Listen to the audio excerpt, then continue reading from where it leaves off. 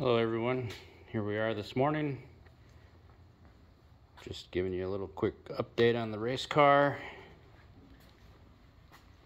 I have got the rear end in finally. Had some issues with the brake floater. As you can see, I've concocted a clamp bracket for that tube before it came around, mounted along the seat. I'm way up there where the front radius rod is on the opposite end. But because of that new axle, the splined axle, I couldn't run it that way, the way the bird cage and everything lines up in the brake floater. So I ended up having to kind of do what the the newer Joe cars look like, or the Kidwells, but instead of welding a bracket, because I'd already powder coated the frame, I'm to try this clamp that I put together here. Um, the other issue I ran into also was the bird, the uh, Jacob's ladder here.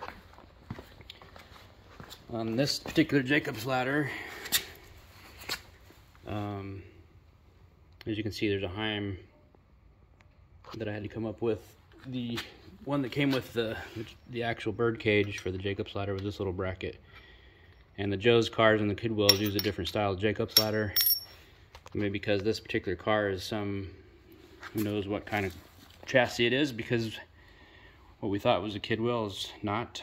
So it has actually a Jacob's ladder. Looks similar to a mini, uh, micro sprint or a sprint car, Jacob's ladder. But um, I had to make a a setup there that would work with this particular Jacob's ladder. And uh, it has the adjustment so you can move the Jacob's ladder up and down to change the roll center. Plus it also has three points there where you can adjust the roll center as well. um, let's see what else. Uh, front end, got the pedals in. Um, these are pedals I had in a different micro sprint that I took out because I'm not using it anyway. There's the hyper pedals. Put those in there. I like the, uh, the way the pedals move much better than the uh, the pedals that came with it. So these should have much better control.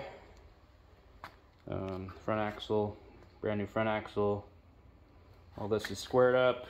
Everything's ready to go. Steering rack.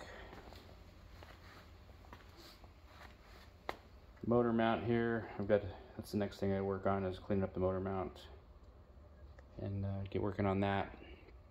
The seat's completely bolted in. Uh, I really like this seat. It's the Kirkey adjustable seat, so you can move it up and down. You have several different uh, bolt holes, so you can change as the driver grows.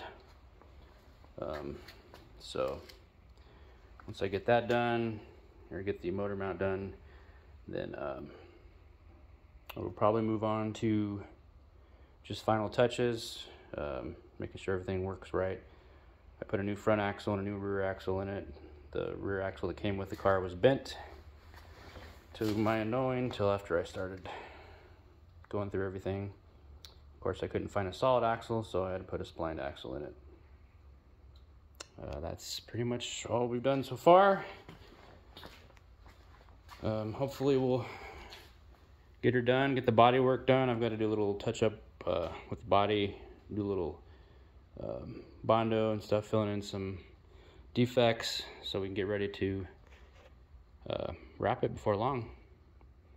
Thanks for watching.